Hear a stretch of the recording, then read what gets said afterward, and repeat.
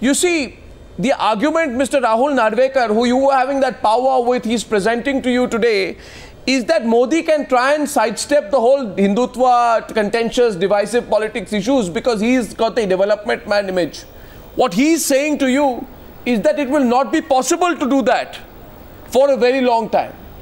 If not by Mr. Modi, it will not be possible for the BJP. Rahul Narvekar, you would like to sort of what, point that the out. The point we are trying to put across is we don't doubt the intentions of Mr. Modi. Yes. Mr. Modi may have all the right intentions to have a development agenda. Rightly so, and he's been voted in for that. But then, to how long and to what extent will he be able to keep the uh, or the ideology of the allies? How long will he be able to ignore that? It's we not his concern. That's not. What if he says it's not my concern? What so Shiv Sena does in Maharashtra is not my concern. Let them exact, do what they want. That's exactly what the nation expects from the Bharatiya Janata Party and the Prime Minister, the pro proposed Prime Minister. What they're saying is, it's not only, like I said earlier, it's not only important what Mr. Modi does. It's even more important what is perceived of what Mr. Modi or the BJP would be doing because the kind of confidence you that see, you the see kind Mr. of Narvekar, trust you see, that the, know, the, people Narvekar, of this country has no, no, infused in no, Mr. Modi no, no, Mr. and the Bharatiya Janata Party, is, this is, I think this they is, owe it to the people that they have a clear strategy no, no, no, and they play it open before the people this at is, large. This is, this is an open attempt by you and parties like yours. Some will say Kamal Faruqui and Salman Soz, correct me if I'm wrong, to, draw, to change again the debate. You don't want a development debate. You want to engage for example, the Shiv Sena my, in, a, in, a, in, a, in a right, Mr. Uh, Faruqui. That's it. You want to engage the Shiv Sena in a typical Hindu, Hindutva versus non-Hindutva debate. You want to engage the Shiv Sena in Article 370 debate. You want to engage the Shiv Sena in should we play cricket with Pakistan I have, I have not even taken That's the name of Shiv Sena. I'm talking about the allies at large. Which ally? Which the ally? You're talking large. about the NCP. And time shall prove what it. allies at large? Time what shall allies prove at, it. What ally? You, you're, you're going to be an ally very soon of the BJP, I hear. oh, is yes, that so? so? Is that so? I learned that from you then. No, no, watch it. Because I have not heard anything of this. Kamal Faruqui. Kamal Faruqui, who's twisting the debate? No, no, but Arnab, Arnab, Arnab, Arnab, I am, I am a positive thinker and I will give Mr. Modi the full mark as long as he does what actually he is saying. Whatever intentions I do not know, only Al Almighty knows what will be the intention of the person. What actually he is talking about? He is talking about 125 people, uh, 25 crore, he is talking about the inclusive growth, he is talking about the positive uh, points which he has taken his entire electioneering. He's talking about that. Yes, Mr. Uh, Thackeray and people like him will keep on raising all those issues. But as a good administrator and a good uh, leader, Salman, he should not agree with them as he has done in the past no, also. You're like saying he should not agree. Joshi. Some no, are saying I'm, he should I'm avoid. having a uh, from the from, from the no, you are yeah, saying from the development, from the country's development point of view, I, I personally feel he has got the God, uh, he has got the God-gifted chance to serve the country in a proper manner. That's if okay. you go in for the divisive, he will be remembered like any other uh, leader would be. Well, he will not be remembered as hero of the country. Will he be able to avoid this debate? That's all. Will he be able to avoid it in political season when there are state elections, etc.? Will he be able to avoid it? Not he. Will the Yo, BJP uh, be able to avoid it? Or will the BJP's policies also shift now? Will the BJP openly now start taking positions on issues which may be central to the RSS but not central to the BJP any longer. Salman Soz. Arnab, first, uh, uh, I think even though there are several elections coming up, and uh, you know, I hope I hope uh, that uh, Mr. Modi uh, resists the temptation to get into any of the contentious issues that you've been talking about. But beyond, you know, even before that, even in development, there are different ideological kind of uh, positions one can take where there is uh, you know, we have to understand what kind of development Mr. Modi might want to usher into this country.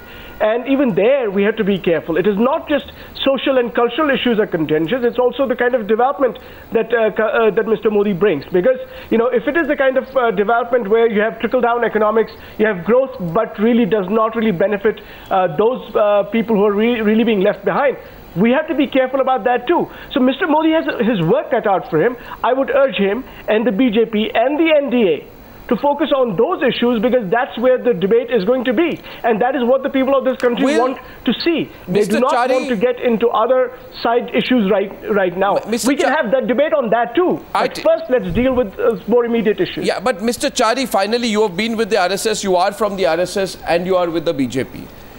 will Nagpur realize this and realize that there can be no expectation that there can be, and I'm choosing my words carefully, that there can be no expectation that the Modi led government will start fulfilling any of the RSS's core agenda. Will the RSS therefore back off?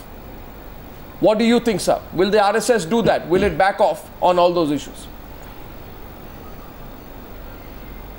Arnav, I have I have written about this and I have also said it and I repeat.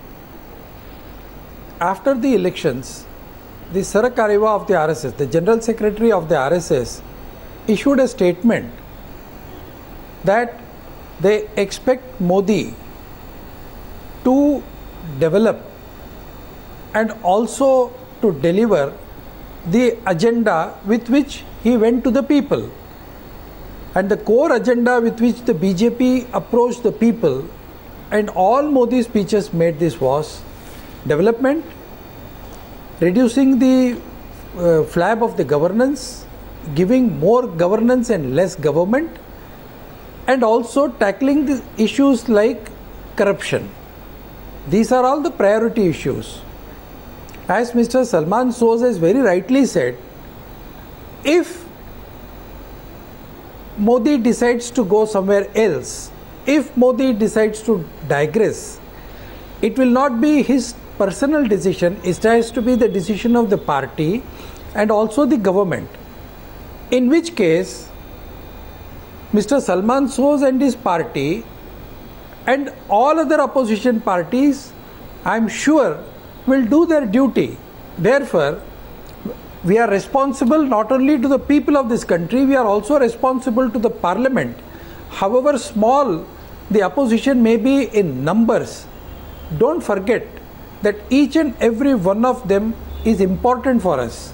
Therefore, as Mr. Salman Soz very rightly said, even development, there could be different views on development, and I'm sure Mr. Modi, as Prime Minister, will approach Okay everyone on these issues. Well, the language- I think we should wait for Mr. Modi Sure. to start working. Well, I We missed should the. wait for Mr. Modi to start working. Certainly. Look at what the government does. Certainly. And if the government does something uh-huh. wrong, Certainly. I think I think the RSS will be the first organization to tell the government that yes, this is not the mandate. yeah, Go and do the work absolute, that has been assigned to absolutely. you. Abs- after all, So rest- rest- after all, no, after all, the RSS realizes that it's not the RSS that won 284 seats. It's the BJP which has won 284 seats. And the language you speak today is a pragmatic, centrist, and accommodative language, which therefore becomes a commitment that this government will speak a pragmatic, centrist, and accommodative language. But we in the media, the, everyone is going to keep a close watch on that because what you convert this, Arnav. what you convert this mandate to, is is is Arnav, something that people will watch, Mr. Chari. Arnav, let me assure you, Yes. Arnav, let me assure you, as you very rightly said, I belong to the RSS. The RSS has always been speaking the right language, but those who did not want to listen to the RSS and they wanted to listen to their own voices have been hearing something wrong, something different. May- Now, today, when I am saying it, you believe. The RSS does not believe, RSS does not believe that the credit of winning 282 seats goes to the RSS. We never said that. You see, Mr. Mr. Mr. Even the Chari. statement of the General no, no, Mr. Chari, Mr. Chari, RSS doesn't Mis- say it. Mr. Chari, I'll just say one thing to you, And and, this is not tell you- you and me. let me tell you, No, no, this is not between you and me, but I'll just say one thing to you. agenda- the core I- agenda I'll of the only say, I'll only say one thing to you, Mr. Chari. One thing to you. Mr. Modi has spoken one language. I'll just give you one example. We'll wrap up and I can debate this extensively with you later. In April 2014, during the election, Uma Bharti said the Ram Mandir issue will be settled out of court if Narendra Modi came to power. That is not the accommodative, centrist, and pragmatic line that you are taking. And Uma Bharti is also from the BJP. But of course, Uma Bharti is not the Prime Minister. Narendra Modi is. So eyes will be on Mr. Modi. That's why we continue the debate. After all, the promise was India first. Thank you very much for joining me on debate number two on the Newshour tonight.